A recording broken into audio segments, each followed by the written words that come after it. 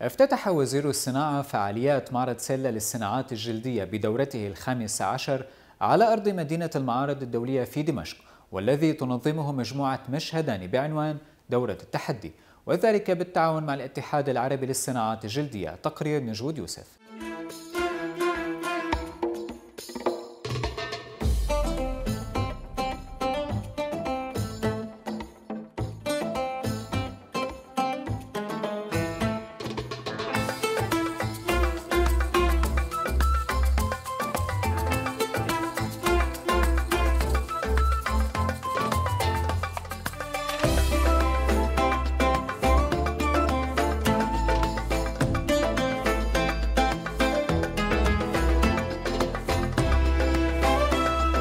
افتتح وزير الصناعة فعاليات معرض سيلا للصناعات الجلدية بدورته الخامس عشر على أرض مدينة المعارض الدولية في دمشق والذي تنظمه مجموعة مشهدان بعنوان دورة التحدي وذلك بالتعاون مع الاتحاد العربي للصناعات الجلدية.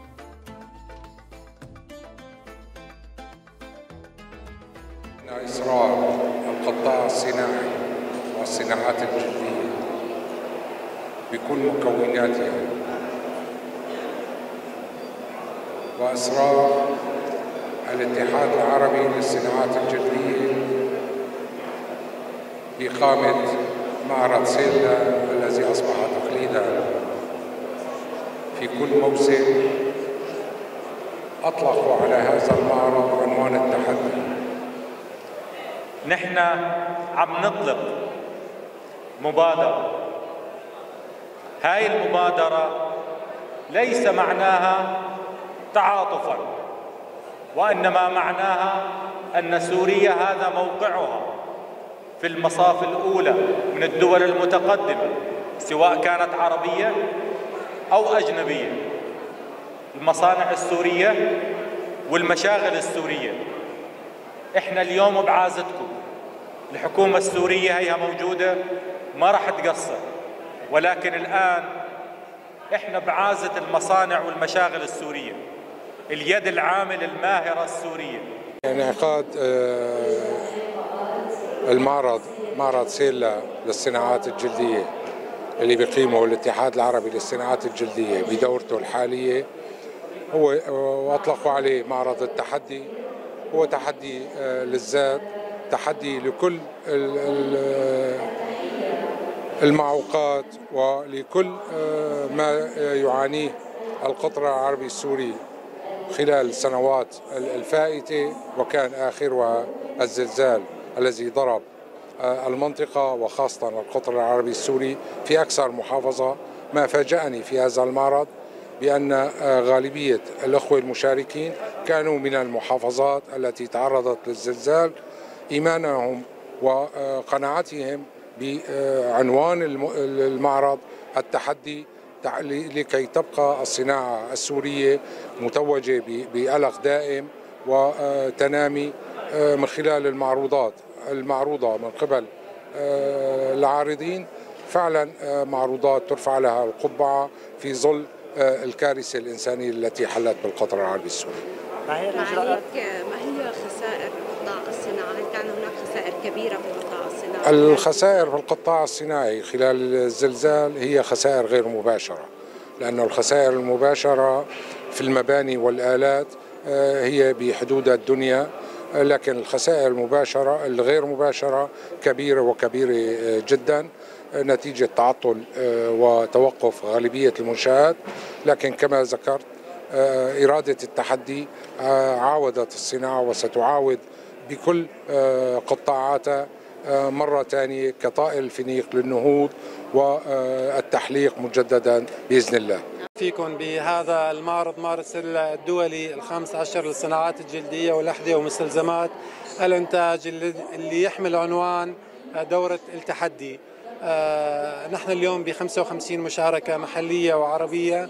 بالإضافة لعدد من الزوار من المشاركات أو عدد من الزوار من الدول الصديقة والشقيقة اللي مهتمين بزيارة هذا المعرض والتسوق لمحلاتهم أو للتسوق لبلدانهم خلال مشاركين هذا المعرض.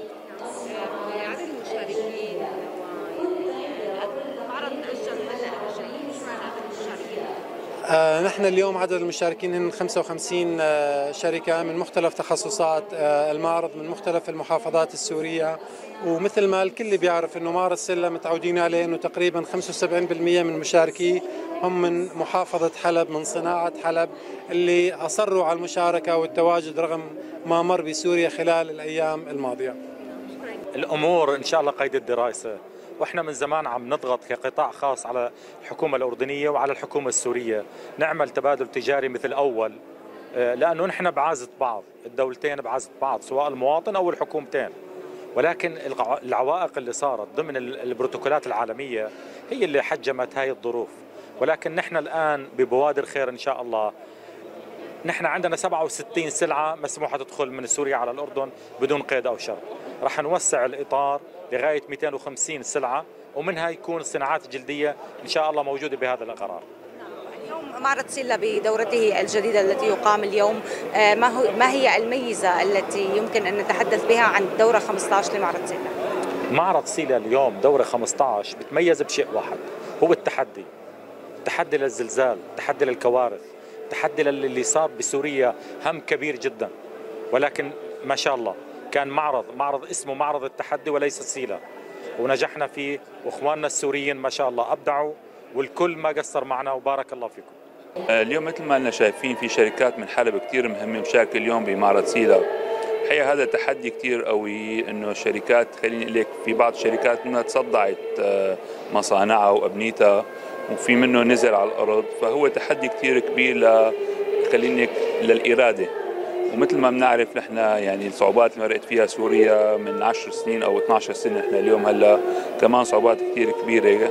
يعني آه، إن شاء الله إنه الأيام الجاية بتكون أحسن على سوريا والصناعة بسوريا.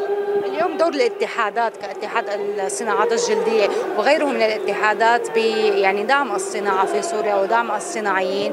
كيف يمكن أن يعني نحدد هذا الدور؟ اليوم جميع الاتحادات اتحادات جلدية واتحادات صناعية والتجارية حتى اليوم هدفها هي تسجيل كل الصعوبات الممكنة ل للعمل التجاري والصناعي بالبلد. مثل ما بنعرف اليوم نحن أهدافنا ثابتة. آه، اليوم البلد اللي ما بتزرعي فيها اللي ما ما بتصنعي فيها ما فيك اليوم تاكلي منها ولا فيك اليوم آه، تشتغلي أو تشغلي أولادك فيها. كثير مهم اليوم نحن نصنع ونزرع ونلبس من اللي بنشتغله. هذا موضوع كثير استراتيجي. مهمة الاتحادات اليوم ضمن الإمكانيات المتوفرة تسهيل قدر المستطاع وتلباية آه، الصناعيين والتجار تلبايتهم بمشاكلهم ومساعدتهم قدر المستطاع فيها. وخلال المعرض أطلقت مجموعة مشهداني مبادرة شراء المنتجات السورية دعما للصناعي السوري.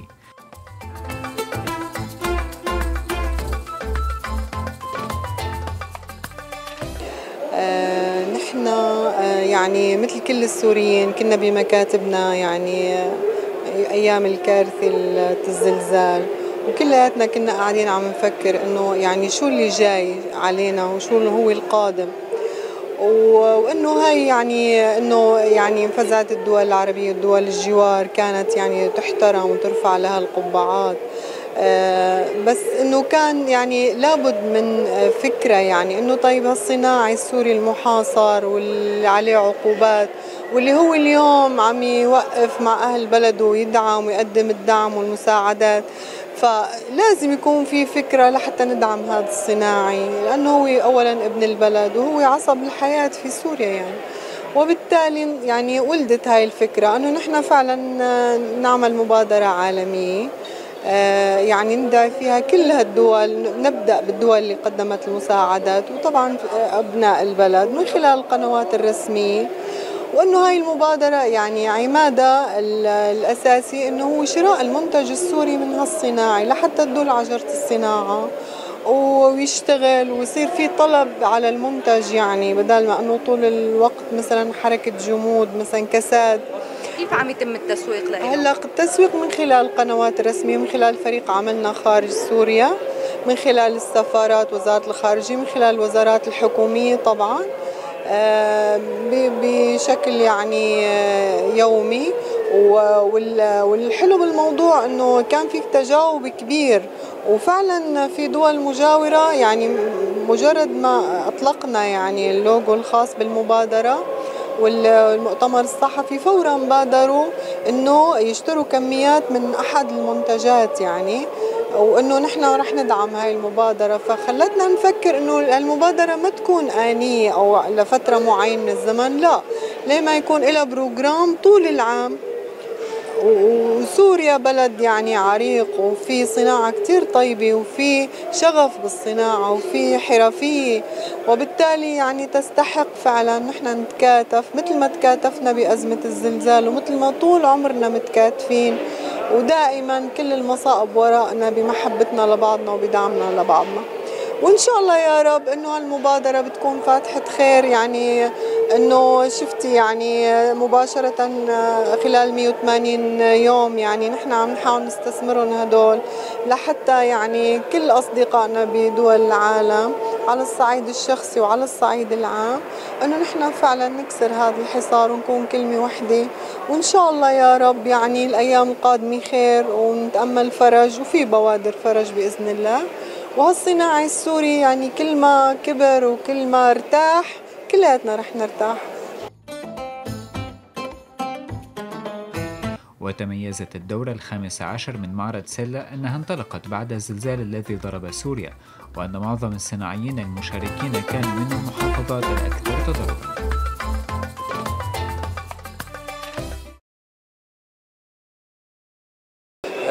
نحن مشاركين بهذا المعرض من أول ما بلش سيلا حتى الآن.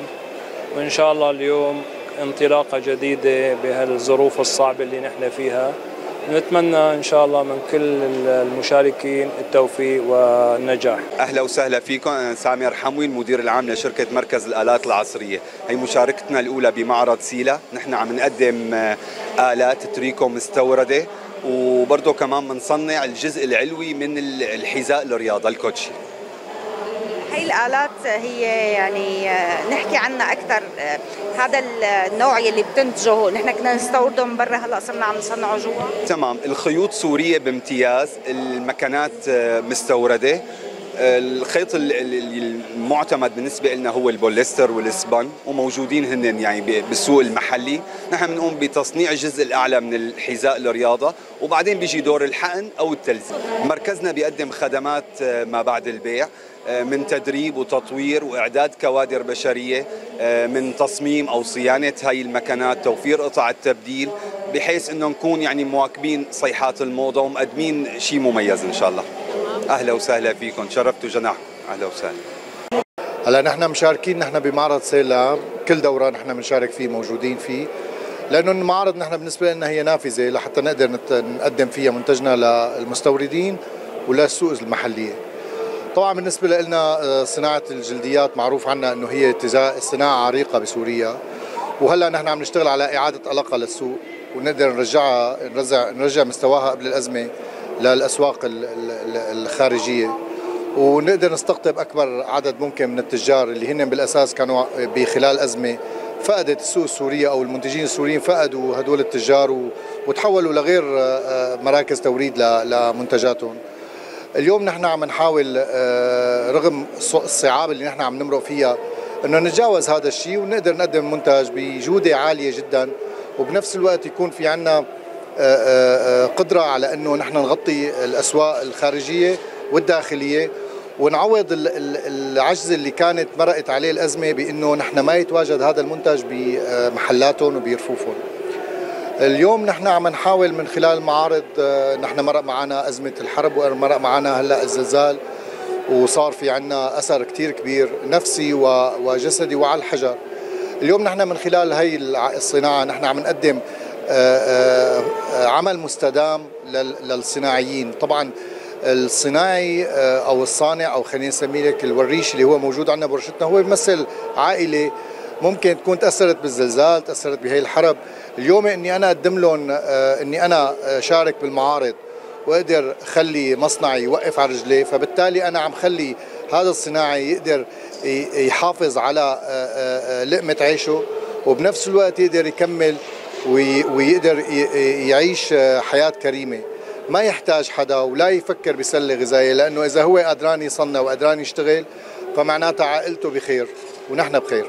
أنا زكوان الحلبي مدير العلاقات العامة بشركة محاميد لصناعة القوالب والأنعال للأحذية. طبعا أول شيء بنترحم على الشهداء ونتمنى الشفاء العالج لجميع الجرحى. وطبعا آه، شكر كبير لسيادة الوزير الصناعة لهذه اللفتة الكريمة وللرعاية. وبشكر شركة مشهداني لتنظيم المعارض. وبشكر طبعا الاتحاد العربي للصناعات الجلدية. اللي أتحنى هالمعرض هذا. طبعا نحن راعي رئيسي لهذا المعرض اللي هو رقمه 15 سيلا 15 وهذا المعرض هو بشكل انطلاقة آه، جبارة للاقتصاد السوري.